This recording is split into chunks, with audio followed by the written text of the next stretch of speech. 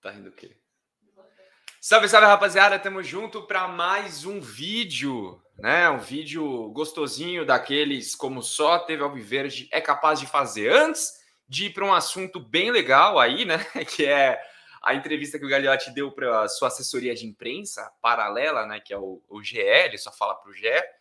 É, só queria convidar você a baixar o OneFootball. O OneFootball é o melhor aplicativo de futebol que você pode ter no seu smartphone para receber todas as notícias. Inclusive, o vídeo de hoje vai ser feito em cima da notícia que eu recebi no meu OneFootball. Você pode escanear o QR Code que está aqui na tela ou clicar no link da descrição para assistir a Bundesliga, primeira e segunda divisão, na fachola e ao vivo, beleza? Então baixa o OneFootball, você não vai se arrepender. Pois bem, rapaziada, o, o Gagliotti ele apareceu essa semana para falar duas coisas. A primeira é que ele bancava o Abel enquanto ele fosse o presidente do Palmeiras. Já está acabando o mandato dele. É claro que o Abel vai ficar, né? Claro que ele não vai agora é, mandar o treinador embora, sendo que ele já não é mais o presidente há um bom tempo, por mais que ele negue isso. E a segunda foi justamente para negar essa afirmação de que o clube esteja largado, né? E aí, como ele falou para o GE, eu tô aqui com a notícia aberta, eu quero trazer duas, duas falas dele aqui, duas aspas do nosso presidente, para a gente. A, entrevista é bem maior, tá? Ela tá completa no GE, você pode acessar e conferir na íntegra, mas eu quero separar duas, duas aspas aqui dele, então eu vou compartilhar a tela com vocês em 3, 2, 1, foi. Vamos lá, a primeira é essa aqui, ó. É, quando ele nega que a gestão do clube está largada, ele veio com esse seguinte argumento. Nós lideramos o Campeonato Brasileiro algumas rodadas. Estamos na final da Libertadores pelo segundo ano seguido. Pagamos 300 milhões de contas de gestões anteriores, de atletas que estavam na justiça, empréstimos, blá blá blá. Investimos na estrutura do clube, não temos um real de atraso com os compromissos do clube, revelamos atletas da base, mantivemos o emprego de todos os funcionários durante a pandemia, temos investimento em infraestrutura no clube social e na academia de futebol. Bom, em partes é verdade. Em partes, é, a gente. Eu acho um exagero quando a gente compara, por exemplo, a, a gestão do Gagliotti, deixa eu só interromper aqui o compartilhamento, eu já compartilho de novo.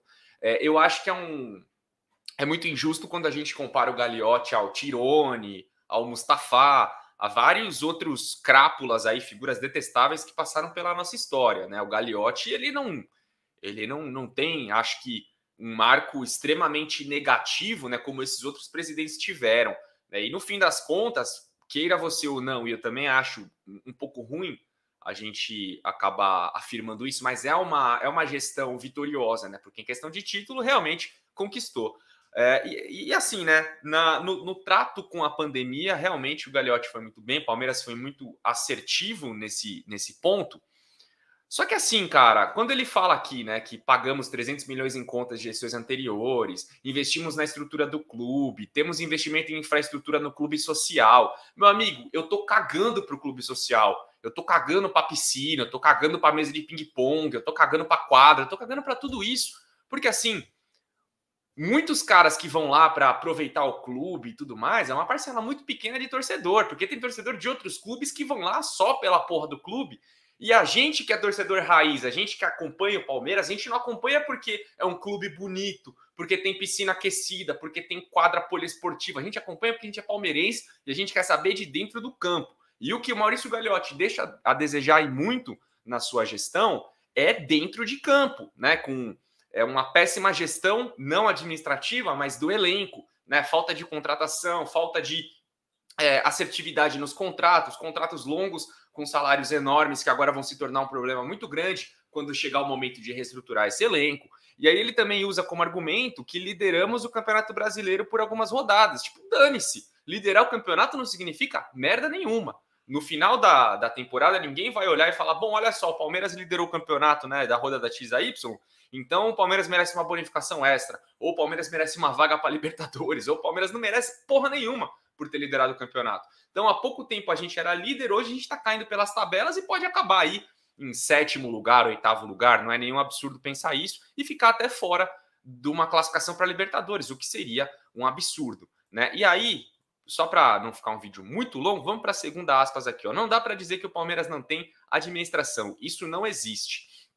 Fazendo uma autoavaliação, é só comparar o período atual com outros e podem escolher o período. Eu deixo as pessoas escolherem para ver se tem gestão ou não. Temos atletas revelados, de novo isso. né? uns no elenco e outros para um próximo período. Elenco competitivo, e é o que eu posso dizer: tem trabalho e tem resultado. Olha, resultado, como eu falei, nos últimos anos a gente até tem resultado realmente, mas eu acho que não por, pelo trabalho da diretoria em si, porque se a gente é, voltar para a espiral que a gente vive em toda a temporada, todo ano é a mesma coisa. É um time que vai bem nos primeiros meses, depois começa a cair de rendimento de forma que ninguém explica.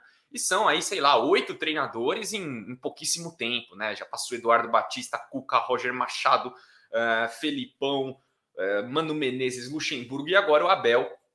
Então é, é, é, improvável a gente pensar que todos os problemas que nós temos temporada após temporada são os treinadores. Não são. Mas essa é a alternativa mais fácil. Você pega uma pessoa, que é o treinador, responsabiliza o cara, coloca toda a culpa em cima dele, manda embora, e você ainda fala: olha só, estou trabalhando, né? Estamos né, preocupados com o futuro do, do, do clube nas competições, por isso mandamos o treinador embora. Então foi tem, tem sido assim a gestão do Gagliotti, uma gestão com todo ano é, é, extremamente conturbado. Todo ano, pelo menos um a dois treinadores dançam, né? E o Abel tá aí, ele não tá. Ele não vai completar nem, nem um ano ainda de, de casa. E já, já existe também, parte impulsionada pela torcida, o Fora Abel, né? Por conta dos resultados dentro de campo. Mas aí você se esquece de olhar para a gestão, de olhar para o elenco, de olhar para várias coisas que deveriam ter sido feitas. E aí, é, tem um outro, um outro aspecto também que a gente pode colocar na conta do, do, do Gagliotti, que é a omissão, não só agora dentro do campo em termos de contratação, mas a omissão de se posicionar como presidente da Sociedade Esportiva Palmeiras. Por exemplo, a gente pega o jogo contra o América, que a gente perdeu, perdemos porque fomos extremamente incapazes, porque merecemos perder, porque o América, o América foi melhor, então isso é um fato. Não dá para pegar aquele jogo e jogar na conta da arbitragem, só que o Voaden teve dois erros explícitos. E o Voaden sempre erra contra o Palmeiras. Então por que, que esse cara ainda apita os jogos do Palmeiras? Por que, que o presidente não aparece para tomar uma, uma providência? O único que fala de arbitragem quando tem que falar é o Abel. Já há muito tempo, por isso ele é avisado, por isso ele toma cartão. E o presidente não se posiciona. Né? A gente pode pegar aquela expulsão que o Patrick de Paula sofreu lá em Minas. Cadê o presidente para falar que aquilo foi uma expulsão ridícula? Ou agora também, por exemplo, Wesley foi expulso contra o Bahia também num jogo que a gente não merecia vencer, e não foi por isso que a gente não venceu. Mas aconteceu um lance onde o Wesley é expulso, e ontem aconteceu um lance com o Fábio Santos do Corinthians idêntico, e o Fábio Santos não foi expulso.